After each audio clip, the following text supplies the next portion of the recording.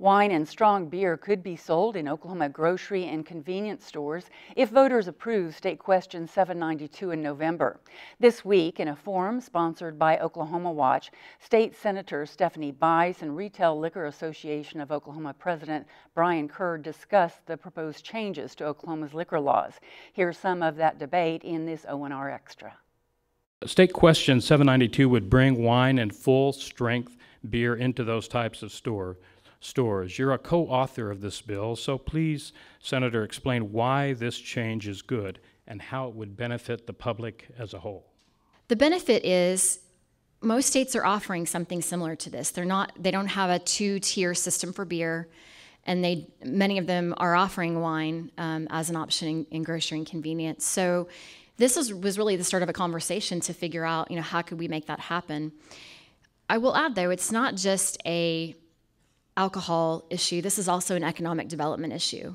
What we're talking about is a net loss to Oklahoma when we talk about 792. So, for every brewery that will open, for every tourist that might come in and tour those breweries, for every uh, additional uh, freedom that winery get, a winery gets in Oklahoma, uh, you're closing down, you're, you're losing 10 jobs and closing down a liquor store or two liquor stores or five liquor stores. So, the offset there just doesn't make any sense economically a question for both of you, and maybe it's a quick answer, and that is if a 792 passes, will consumption of alcohol increase in Oklahoma?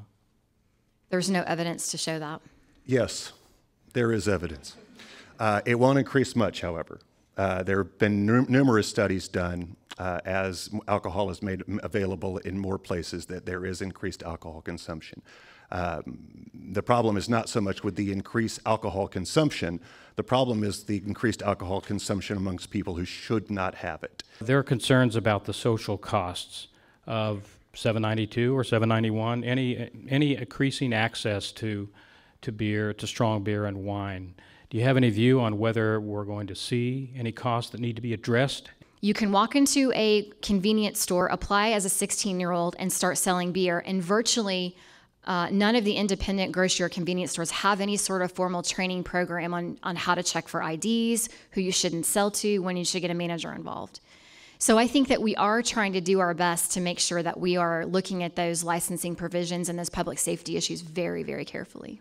But the reality is this it's reducing the age at which people will be selling stronger alcohol. Plain and simple.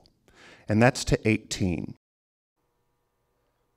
You can view the entire Oklahoma Watch Out Forum on State Question 792 on our website at www.oeta.tv